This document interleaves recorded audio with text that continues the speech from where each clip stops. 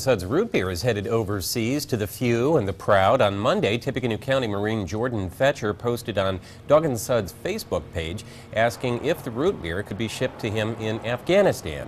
From that, Operation Freedom Foam was born, with many in the community willing to donate money to get the root beer to the Marine and his friends. Owner Dan Washington says Dog 'n Suds is donating all of the root beer, but the cost to ship just one case is more than 24, uh, $25. In just 24 hours since Fetcher asked for the root beer, more than $800 has been donated to help offset the cost of the shipping. It's not what you expect. It's you try to do the right things. And as a result, it touches somebody, a kid thousands of miles away who's missing everything is missing root beer.